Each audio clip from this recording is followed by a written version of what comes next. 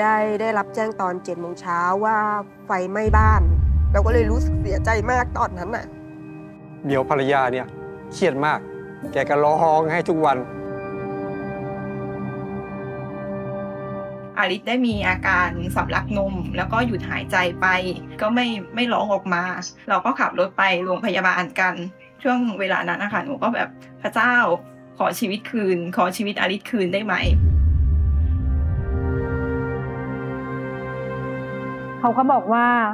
เป็นซึมเศร้าที่ค่อนข้างรุนแรงแล้ว ถ้าไม่รักษาตอนนี้ ณ เวลานี้ ปล่อยไปอีกแค่วันสองวันเหลืออาทิตย์หนึ่งคุณจะอยู่ในสภาวะที่เป็นบ้า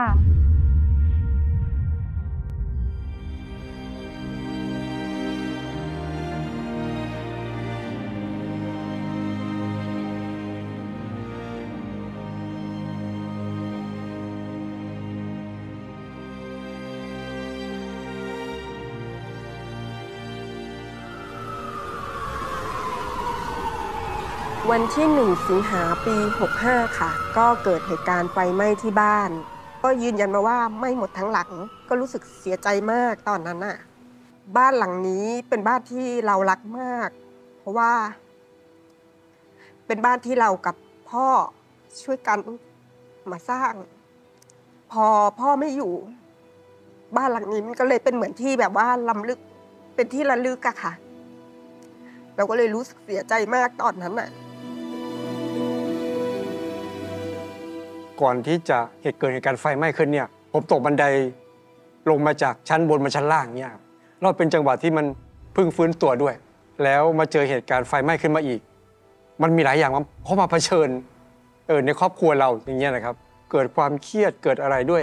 เหมียวภรรยาเนี่ยเครียดมาก แกก็ร้องให้ทุกวัน คิดว่าเราจะเก็บเรื่องเนี้ยเป็นความลับ เรายังไม่อยากบอกใคร เพราะว่าทุกคนก็ลำบากกันหมด เพราะว่าก็เป็นช่วงสถานการณ์ที่เศรษฐกิจย่ำแย่ด้วยช่วงเชื้อโรคด้วยค่ะตอนนั้นนะแต่พอเราเก็บเรื่องนี้ไว้ในใจเราก็รู้สึกแบบมันขมขื่นแล้วก็เจ็บปวดแล้วเราก็ไม่สามารถถอนตัวขึ้นมาได้ตอนนั้น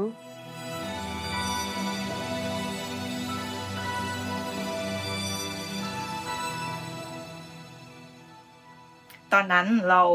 ขึ้นมาอยู่เมืองเลย ตอนนั้นเราท้องได้ประมาณ 6-7 เดือนอ่าได้ทราบข่าวจากแม่ว่าน้องอยู่ที่ใต้เนี่ยอ่ามีความลำบากในเรื่องของอาชีพในในช่วงนั้นก็ทราบว่าน้องกำลังตั้งครรภ์ด้วย คุยกับแม่เขาว่า ถ้าอย่างนั้นก็ให้ทางครอบครัวเขาขึ้นมาทำงานที่ร้าน ช่วงนั้นเป็นช่วงที่โควิด ก็เริ่มจะมาทีนี้งานงานผ้าม่านที่รับติดตั้งอยู่ก็น้อยลงแบบเนี้ยค่ะ ทีนี้ แฟนก็ได้มีการแบบกระวนกระวาย อยากจะหารายได้ให้มันเยอะกว่านี้ แฟนก็เลยตัดสินใจที่จะออกไปขับรถที่สระบุรีอ่าค่าใช้จ่ายของน้องเริ่มลดลงทำให้ความสัมพันธ์ในครอบครัวของเขา เริ่มมีปัญหากันบ้าง เริ่มมีความคิดที่แตกต่างกันบ้าง ทีนี้หนูก็แบบไม่อยากให้เขาไปแต่อยากให้เขาช่วย อยู่เลี้ยงลูก เราต้องเลี้ยงลูกคนเดียว หลาย ๆ อย่างเราเราต้องแบกไว้คนเดียว ทั้งเรื่องค่าใช้จ่ายลูกหรือว่าเรื่องลูกคนอีกคนหนึ่งที่ใต้ด้วยแบบเนี้ยค่ะ เราก็มีความรู้สึกว่าแบบพระเจ้าถ้าพระเจ้าต้องการให้เขากลับมาก็ขอให้พระเจ้านำเขากลับมาเร็วๆนะเพราะแบบอยากให้แบบอยู่ด้วยกันมากกว่าที่ต้องห่างกัน เราอึดอัดที่แบบเลี้ยงลูกคนเดียวทำงานเย็บผ้าด้วย ว่าเราเรามีความกังวลว่า ไม่รู้ว่าลูกเราจะเป็นยังไงอย่างเงี้ยค่ะ เพราะว่าลูกมีอาการสำลักนมบ่อย เวลาดื่มนม จะชอบแหวกออกมาทางจมูกแล้วก็ทางปากอ่าเนื่องจากว่าผ่าท้องคลอดทำให้น้องกับแม่เนี่ยทำให้เด็กกับแม่เนี่ยจะต้องแยกกันอยู่พอช่วงช่วงหลังคลอดอาริสได้มีอาการสำลักนม แต่อาริสก็ไม่ไม่ร้องออกมาอาริสก็หยุดหายใจไปทีเนี้ย เราก็ขับรถไปโรงพยาบาลกันช่วงช่วงช่วงเวลานั้นนะคะหนูก็แบบพระเจ้าขอชีวิตคืน ขอชีวิตอาริสคืนได้ไหม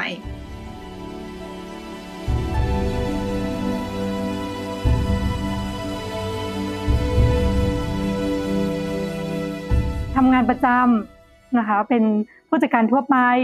รับใช้พระเจ้าในคิดจักรเนาะแล้วก็ดูแลครอบครัวคนข้างนอกที่มองแล้วกันเนาะโอ้ยทำงานหนักจังเลย โอ้ยมีเวลาดูแลตัวเองตอนไหนอะไรเงี้ย แต่สำหรับตัวแอนเองเราเนี่ยเป็นวิถีปกติไม่ได้รู้สึกแย่กับสิ่งที่เป็นวิถีชีวิตของเราเนาะจนมาวันหนึ่งนะคะก็เอ่อเริ่มสังเกตตัวเองว่าเรามีสมาธิที่สั้นลง ก็เริ่มแบบมีปัญหากับลูกน้องปกติเขาไม่เคยเป็นอดทนได้น้อยลงอะไรแบบนี้ เหมือนอาจารย์แอนเขาจะเบอร์เบอร์เหมือนคุยไม่ค่อยรู้เรื่องอะค่ะ ดูเหมือนแกไม่พร้อมในจิตใจอะหน้าเริ่มกระตุก มือสั่นอะไรเงี้ย ที่เราไม่สามารถเก็บทรงในการถ่ายทอดอย่างมืออาชีพได้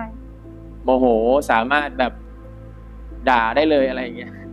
คือตอนนั้นอยากหายเพราะว่าอยากกลับมาทำงาน อยากกลับมารับใช้ อยากกลับมาใช้ชีวิตปกติ แล้วก็ไปพบจิตแพทย์ใช่ไหมเจอกันแล้วก็คุยกันไปประมาณสองชั่วโมง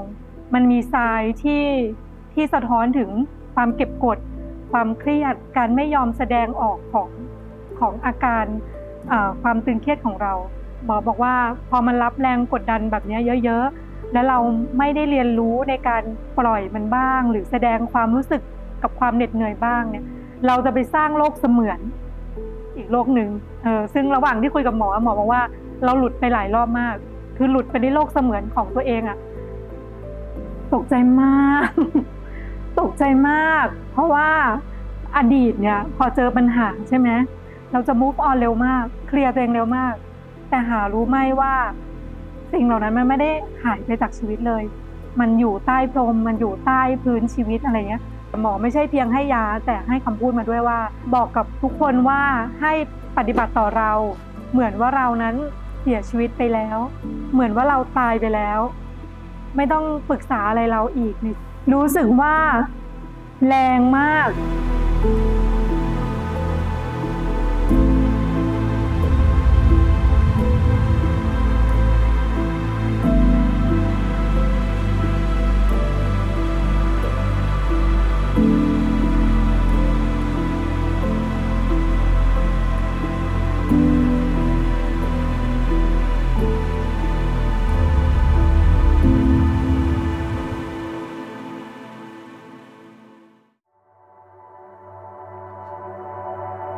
ซ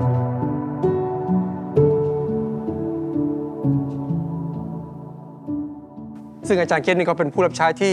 เรารับใช้มาด้วยกันหลายปีแล้ว แกก็เลยหนุนใจพวกเราขึ้นมาเนี่ยเดี๋ยวผมจะหาทางช่วยดูนะครับ จะประสานงานที่หมวดดูจะติดต่ออาจารย์ดูนะครับ เราถือว่าเป็นเคสเร่งด่วน เราก็ทำเดี๋ยวนั้นเลย ก็เลยตัดสินใจโทรหาอาจารย์สลันว่าอาจารย์เดี๋ยวเดือดร้อนมาก แล้วตอนนี้เขาไม่มีทางออกขอโพสต์ ให้พี่น้องช่วยเหลือได้ไหมอาจารย์ก็อาจารย์สลันเลยว่าได้สิ ก็เลยเราก็เลยโพสต์หาช่วยกันทั้งกิจจักรตัวผมเองก็เข้าไปไปช่วยในการที่ให้ข้อมูลกับอาจารย์ แล้วก็พี่น้องในโบสถ์ได้ช่วยกัน ก็ปรากฏว่ามีพี่น้องต่างต่างคริดจักรทั้งที่ต่างๆ ทั่วประเทศอะพูดง่ายว่าทั่วประเทศและต่างประเทศด้วย โอนตังเข้ามาในบัญชีผมแล้วผมก็ทำบัญชีให้เขา ไม่ว่าจะเป็นเงินนะครับสิ่งของเสื้อผ้า เครื่องใช้ต่างๆ ในครัวเรือนนะครับ ซึ่งมีพี่น้องโทรเข้ามาถามว่าที่บ้านมีใครบ้าง อยู่กันกี่คนขาดเหลืออะไรบ้าง ในเหล่าเงินบริจาคเนี่ยจะมีทั้งพี่น้องของเรา และบางคนที่เป็นผู้เชื่อด้วยเหมือนกัน ซึ่งเราก็ไม่รู้จักเขา แค่เขารู้เรื่องราวของเราจากอาจารย์เกตที่ประกาศออกไป แม้กระทั่งวงกบหน้าต่างสิบกว่าอันเลยครับ เอาไปไว้ก่อน เพื่อที่ว่าคือเกิดวันหนึ่งเราไปสร้างบ้านเราใช้วงกบเนี่ย เอาไปสร้างต่อได้ โดยที่จะเซฟงบประมาณเราไปด้วย เป็นกำลังใจที่ดีมากที่ดีมากเลยสำสำหรับตัวเราอะค่ะ ที่แบบฟื้นฟูจิตใจตัวเองขึ้นมาได้เร็วมาก รู้สึกตื้นตันใจมากค่ะว่า เราไม่ใช่ตัวคนเดียว เรามีพี่น้อง อึ้งไปเลยครับโอ้โหพี่น้อง แต่ละคนเนี่ยห่วงใยเรามาก รักเรารักเราจริง นอกจากไอ้สิ่งที่พี่น้องถวายมาแล้วนะ ก็คือกำลังใจนะครับ พี่น้องไม่ทอดทิ้งเราอะทำให้ครอบครัวเรานี่ผ่านเหตุการณ์นี้มาได้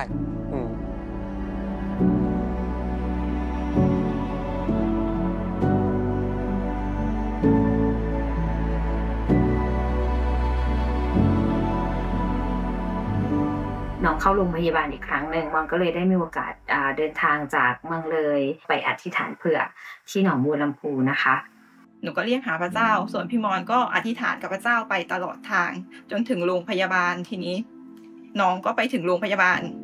น้องก็ร้องออกมาทั้งโรงพยาบาลเขาก็ตกใจมากว่าน้องร้องเสียงดังมากเลย ทีนี้เข้าพบหมอหมอก็บอกว่าน้องไม่น้องไม่ได้เป็นอะไรน้องปกติดีกลับบ้านได้ค่ะ ก็พูดให้กำลังใจ แล้วก็ทำให้เขามีความกล้าหาญก้าวต่อไปด้วยด้วยความหวังใจที่พระเจ้ากวนกวายไม่รู้จะหันไปพึ่งใคร แล้วก็บอกพี่มอนช่วยเลี้ยงอลิสหน่อยได้ไหมพี่มอนก็เอาอลิสไปนอนด้วยอลิสก็ไม่มีอาการเหมือนที่นอนกับหนูแบบเนี้ยค่ะ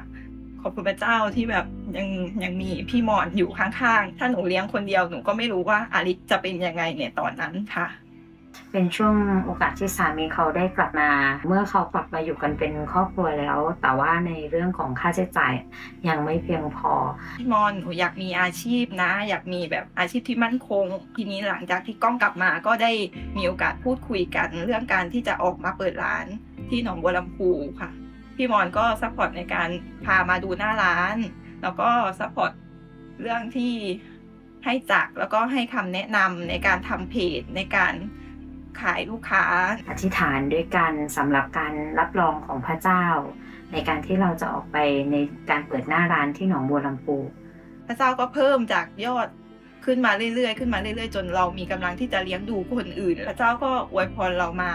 เราก็ออกไปบริจาคผ้าห่มให้น้องๆ บนดอยบริจาคข้าวของช่วยเหลือ คนที่เขาประสบภัยน้ำท่วม แบ่งปันข่าวประเสริฐให้กับพี่น้องหลาย ๆ ที่ แล้วก็เปิดโอกาสให้คนอื่นเข้ามา เพื่อฝึกชีวิตแล้วก็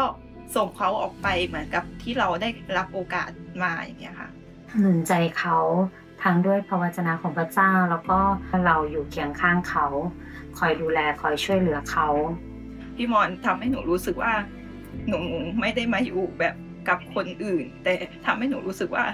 หนูมาอยู่กับญาติพี่น้อง การให้กำลังใจการแนะนำแนะนำในการใช้ชีวิต แล้วก็ จะหนุนใจทุกครั้งที่เจอปัญหา ก็ถ้าวันนั้นเราไม่รู้จักกับพี่มอน เราก็ไม่รู้ว่าเราจะเข้มแข็งแล้วก็เดินมาถึงจุดจนถึงทุกวันนี้ไหม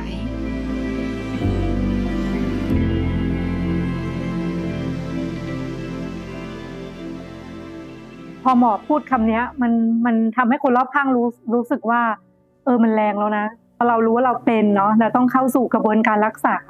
อย่างน้อยหนึ่งปีเนาะก็ทำให้มีความกังวลหลายเรื่องเลย สิ่งที่กังวลคือคิดจักรจะยังไง ไม่สามารถเทศนาได้ไม่สามารถคุยกับคนได้เหมือนก่อนอะไรอย่างเงี้ยเอาจริงๆก็แบบแอบสงสารสงสงสารมาก เพราะว่าดูแลทั้งคนในคริสตจักรก็ถือว่ามากแล้วอะไรเงี้ยยังยังมีความรู้สึกทางจิตใจที่ที่แย่อีก ตอนนั้นก็รู้สึกเป็นห่วงมาก ๆเลย แล้วก็คิดในใจว่าอะไรคือสาเหตุสำคัญที่ทำให้อาจารย์แอน ต้องซึมเศร้า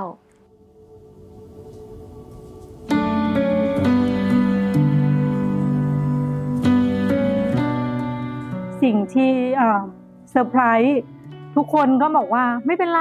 ไม่มีใครสักคนที่กล่าวโทษทำไมอาจารย์ทำบาปหรือเปล่าพระเจ้าลงโทษหรือเปล่าทำไมเป็นนักอธิษฐานแล้วเป็นซึมเศร้าได้อะไรเงี้ย แต่มีแต่คนแบบไม่เป็นไร เดี๋ยวเราจะอยู่เราจะอยู่ตรงนี้เราจะ ช่วยรับใช้ตรงนี้อะไรเงี้ย อยากให้อาจารย์แอนได้ระบายบ้าง นอกเหนือจากที่เราอะเล่าให้เขาฟัง จากเมื่อก่อนเราอาจจะปล่อยปละละเลยความรู้สึกเขาคือเราคิดว่าเขาจัดการดูแลตัวเองได้ แต่พอมันเป็นแบบนี้ปุ๊บเราก็ต้องพยายามเข้าไปเหมือนกับว่า support ความรู้สึกเขามากขึ้น และมีความเชื่อว่าพระเจ้าไม่ได้ต้องการให้เขารับใช้สำเร็จ แล้วสุขภาพล้มเหลว เป็นเป็นหนึ่งปีที่ผ่านมาที่ ที่ทุกคนช่วยมาก ๆ บอกอาจารย์ว่าขอพักร้อนหนึ่งปีได้ไหมลาออกจากการเป็นภรรยาศิษยาภิบาล เพราะว่าเราไม่มั่นใจเลยว่าเราจะสามารถแฮนเดิลหรือว่าดูแลงานบทได้ อาจารย์ก็บอกว่าไม่ต้องทำอะไรทั้งนั้นเน็กซัสเราไม่ได้มุ่งเน้นที่จะเอาผลลัพธ์ เอาผลงาน เรารักผู้รับใช้ แล้วก็อยากให้ผู้รับใช้เนี่ย ได้รับการดูแลชีวิตที่ดี การทรงเรียกของพระเจ้าเนี่ยไม่ได้หมดไปตามประสิทธิภาพของเรา อืมถ้าอาจารย์แอนไม่ไหวในการปฏิบัติรับใช้พระเจ้าอยู่ที่เชียงใหม่ เรายินดีที่จะไป ไม่อยากเป็นแค่จิตใจที่ห่วงใยหรือสมองหรือความคิดที่อธิษฐานเผื่อ แต่อยากช่วยทุกอย่างเลย เหมือนเหมือนเราอาจจะไม่ได้พูดอะไรมาก แต่เหมือนเรารู้สึกว่าเอ้ยเราแบบเชียร์อัพเขาอยู่นะ สามารถที่จะอยู่กับเขาได้ โดยไม่ต้องเป็นแบบผู้นำที่อุดมคติมาก ไม่ต้องไม่ต้องสอนไม่ต้องรู้สึกอะไรอะไรเงี้ยทำให้เราเรียนรู้ที่จะรับจากพระเจ้าด้วย คิดว่าการที่พระเจ้าอนุญาตให้เกิดขึ้นเนี่ยแอนก็ได้ได้พักด้วยจากสิ่งที่เขาทำอะไรเงี้ยไม่งั้นเขาก็ไม่สามารถที่จะวางสิ่งที่เขาทำได้ แม้ถ้าเขาไม่ได้เป็นเนี่ยตัวเราเองก็อาจจะละเลยความรู้สึกของของเขาด้วยอะไรเงี้ยมันทำให้เราได้กลับมาคิดได้ดูแลเขามากขึ้นด้วย พระเจ้าไม่ได้สร้างเรามาเป็นแบบวันแมนโชเนาะความแข็งแกร่งของพระเจ้าคือความเป็นความเป็นชุมชนอะมันเป็นการบอกว่าเราอยู่ด้วยกันทุกสถานการณ์นะ แม้แต่ความทุกข์ยาก แม้แต่เจอเหตุการณ์ลำบากเนี่ย เขาสามารถรักเราได้เหมือนกับครอบครัวตัวเอง การร่วมทุกข์ร่วมสุข การอยู่ร่วมด้วยในช่วงจังหวะชีวิตของแต่ละคน เราไม่ได้โดนทอดทิ้ง เราไม่ได้ถอยหลังอยู่คนเดียว ทุกคนมองเห็น และทุกคนยื่นมือเข้ามาช่วยอย่างเยอะแยะมากมาย เพราะว่าคริดจักรไม่ใช่แค่มัสการ แต่คริดจักรทุกโลกทุกโลกสุขด้วยในยามที่เขายากลำบากเขาคือครอบครัว ถ้าเป็นครอบครัวเมื่อไหร่ก็คือต้องอยู่ด้วยกัน ต้องมีความสุขด้วยกันทุกข์ด้วยกัน แล้วก็เคียงข้างกัน